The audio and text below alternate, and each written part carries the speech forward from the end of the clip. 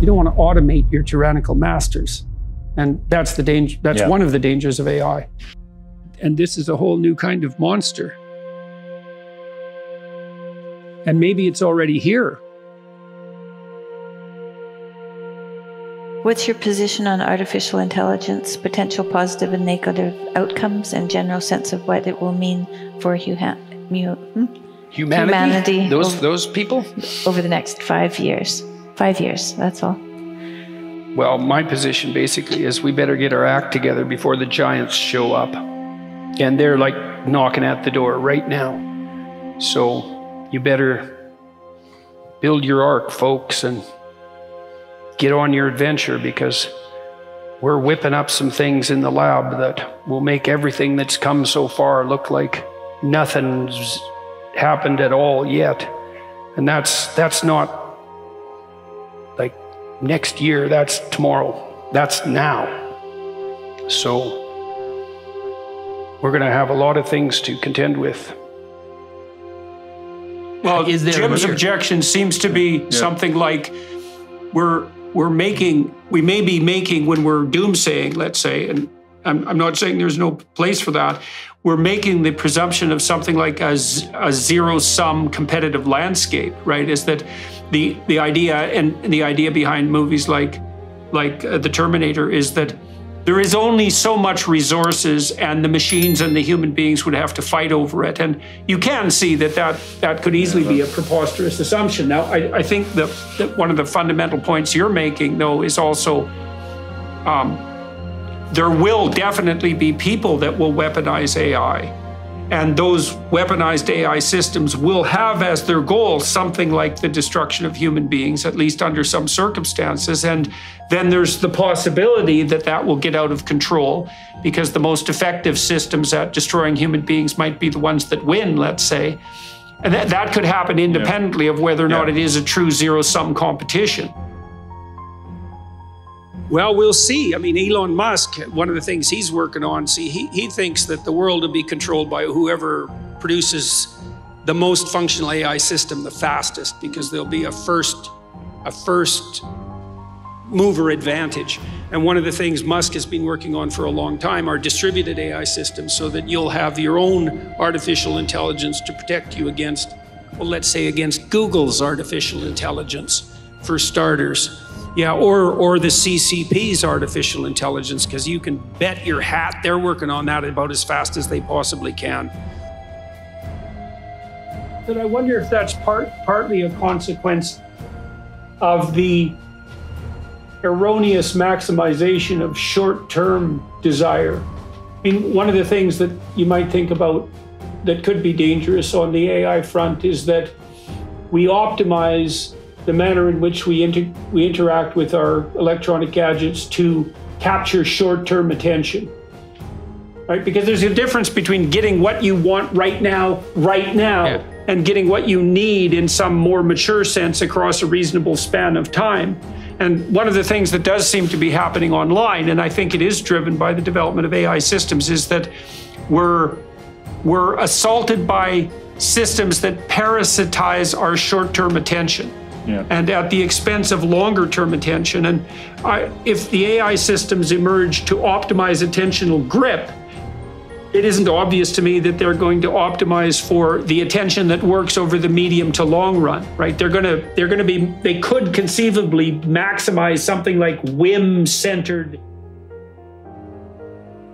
I mean, one of the things I was talking to Dr. Penrose today about was he believes that consciousness, in some sense, stands outside the domain of algorithmic computation. I know he does, yes. And we discussed in some detail why he believes that. And I'm very curious about that. My brother in law is probably the world's foremost computer chip designer. Okay. And he's currently designing a chip that he thinks will have the computational power of a human brain. And he was the first person to build a 64 bit chip, and he did that in 1985. Okay. And so we've had a lot of discussions about the limits of AI. So this is an AI optimized chip, by the Yes. way. This And my, my brother in law thinks that computation is algorithmic. and so it's compu- or that that that thought is computational Yeah. and algorithmic, and that can be replicated in AI Yes. systems. Yeah. Penrose thinks that Gödel's theorem precludes that, that there has to be something standing outside. Yes. Now, I tried to push him on what he regarded as the metaphysical significance of consciousness. One of my hypotheses, let's say, about deep stories is that they're they're they're meta gists in some sense. So you could imagine a hundred people telling you a tragic story, and then you could reduce each of those tragic stories to the gist of the tragic story, and then you could aggregate the gists, and then you'd have something like a meta tragedy. And I would say the deeper the gist, the more religious like the story gets. And that's part of it's that idea is part of the reason that I wanted to bring you guys together. I mean, one of the things that what you just said makes me wonder is imagine that you took Shakespeare and you took Dante and you took like the, the canonical Western writers and you trained an AI system to ex, to hmm. understand the structure of each of them and then and now you have you could pull out the summaries of those structures, the gists, and then couldn't you pull out another gist out of that? So it would be like the essential element of Dante and Shakespeare. And they're always after the next new thing as fast as possible. So it's a machine that's speeding along as fast as a machine possibly can. And and God only knows where it's headed in some sense, right? Because there's so many things happening at the same time that it's impossible to keep track. And we don't even know what these things are. Like the the autonomous cars that are being developed, you know, people still think about those as cars, but that isn't what they are. They're autonomous self-learning robots. And the fact that they happen to take the form of cars at the moment is almost irrelevant. You know, they're no more cars than cars were horseless buggies right? They're a whole new thing. Because one of the things that's happening now is we're, as you pointed out earlier, is we're going to be producing equally revolutionary transformations, but at a much smaller scale of time. And so, Mike, one of the things I wonder about, I think it's driving some of the concerns in the conversation is are we going to be intelligent enough to direct with regulation the transformations of technology as they start to accelerate. Well, I mean, we've yeah. we've already you look what's happened online. I mean, we've inadvertently, for example, ra- radically magnified the voices of narcissists, psychopaths, and Machiavellians, and we've done that so intensely, partly, and I would say partly as a mm-hmm. conserva- consequence of AI mediation, when people were first developing models of artificial intelligence, they thought they'd be able to develop machines that sort of modeled the world and then figured out how to act in the world, sort of abstractly, and then would, after they figured out how to act in the world, would then act in the world. But that proved to be impossible, as you can tell, because we don't have, you know, ambulatory robots that can like bus tables at a at a restaurant, which turns out to be, by the way, a very complex job. Fast mathematical operations, computer can handle that easily or easily, but bussing a table, it's like no computer's smart enough to do that. So that's pretty peculiar. But it turned out after like 40 years of investigation that you couldn't build computers that would operate as independent robots by teaching them to model the world and then by having them model the potential action that they were going to undertake and then by implementing it. That did not work, partly because modeling the world is way more complicated than anybody ever suspected. It's like infinitely more complicated. And what's really interesting about robots like that is that they basically they're all identical, right? More or less. And what that means is that when one learns something, every one of them learns it at the same time. And so even if they're not very bright, if there's 10 million of them or 100 million of them, and they're all learning one thing a day, that's 100 million new things a day that every one of them is learning. And so they're mapping the road and they're learning how to operate in a natural environment, which is a really big deal. Like it's a really, really big deal. They're learning to map the perception of the world onto action, which is really the definition, a, good definition in some sense of intelligence. You know, you hear babies have no theory of mind. It's like, uh, yeah, no, they can imitate. that's pretty bloody amazing, man. Like you haven't seen robots that can do that yet. Although there are robots now that you can teach by moving their their arms. You move their arms and then they'll do it. And so you can actually program them by moving them and then they'll just repeat it. And so they're getting damn close to imitation. They're really getting close. And then look the hell out, man, because they're going to be imitating each other as well as us. And they're going to do it so fast, you just won't be able to believe it. So that's coming. Now AIs, you know, it's a threat too. But if we if we were if we had our act together ethically, it's possible that AI could become uh, a useful servant rather than a tyrannical master. You don't want to automate your tyrannical masters. And that's the danger. That's yeah. one of the dangers of AI. You know, the guys that are building the autonomous cars, like they don't think they're building autonomous cars. They know perfectly well what they're doing. They're building fleets of mutually intercommunicating autonomous robots and each of them will be able to teach the other because their nervous system will be the same. And when there's 10 million of them, when one of them learns something, all 10 million of them will learn it at the same time.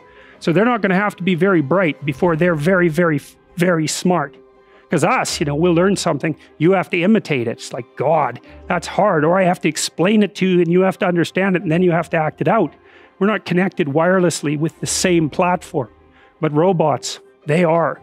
And so once those things get a little bit smart, they're not going to stop at a little bit smart for very long. They're going to be unbelievably smart, like overnight. Everyone in Silicon Valley is rushing to produce artificially intelligent systems, which are being tried out in 50 different ways, 100 different ways now. And then they're also rushing to build more and more powerful computational devices as fast as they possibly can.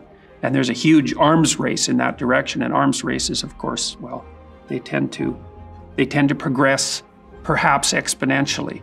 And so all these things are happening at the same time. Well, we have no idea what that we have no idea what that means. We are definitely increasing our technological power, and you can imagine that that'll increase our capacity for tyranny and also our capacity for abundance. And then the question becomes what do we need to do in order to increase the probability that we tilt the future towards Jerusalem and away from the beast? And the reason that I've been concentrating on helping people bolster their individual morality to the degree that I've managed that is because I think that whether the outcome is the positive outcome that in some sense Jim has been outlining or the negative outcomes that we've been querying him about, I think that's going to be dependent on the individual ethical choices of people well, at the individual level, but then cumulatively, right? So if we decide that we're going to worship the image of the beast, so to speak, because we're mesmerized by our own reflection, that's another way of thinking about it, and we want to be the victim of our own dark desires, then the IA revolution is going to go very, very badly. Yeah, yeah. But if if we decide that we're going to aim up in some positive way and we make the right micro decisions, well, then maybe we can harness this technology to produce a time of abundance in the manner that Jim is hopeful about. We don't even know if we need to be worried about Facebook because God only knows if it'll even exist in five years. It could even be the same with Google. So, you know, we're worried about machines that are changing so fast that we can't figure out what exactly we should be worried about. Because, I mean, who was thinking about YouTube five years ago? No one. It's like cute cat videos. Who cares about YouTube? But it turns out that YouTube is an unbelievably powerful social force because it makes the spoken word as universally transmissible and as permanent as the written word, right? So it's a Gutenberg revolution. And it might even be more profound than Gutenberg revolution because it's possible that people can listen better than they can read. And they can listen when they're doing other things, which is what happens in the podcast world. Lots of my students now listen to podcasts instead of listening to music, or they listen to podcasts instead of reading you know, they speed them up. I mean, these are massive, massive technological changes, and they're all happening in parallel. We have no idea what the consequences of that are going to be. The fact that any set of phenomena has a near infinite number of potential interpretations. And that actually happens to be the case. Uh, that, that fact, let's say, was discovered simultaneously in a number of different disciplines um, one of them, most surprisingly, was artificial intelligence. And the artificial intelligence people ran into that conundrum when they learned that it was much more difficult to make a machine that could perceive the world than had originally been supposed. You know, we were supposed to have autonomous robots and, or, and, and functional artificial intelligence back by the late 60s, and of course that didn't happen. And part of the reason for that was that the artificial intelligence researchers, when they were starting to instantiate perception into their machines, learned that charting your course in the world might be a trivial problem in comparison to determining how to perceive the world. And the reason for that is that there's a very large number of ways to perceive the world. My concern fundamentally is that these machines will reflect us ethically. And that should be frightening because I wouldn't say that our ethical house is particularly in order. So they're going to magnify what we are. You know, so, you know, the Google guys can talk about the mind of God, but that's making the presumption that the thing that we're building will be a good thing. And I don't think that it will be a good thing because it will reflect us.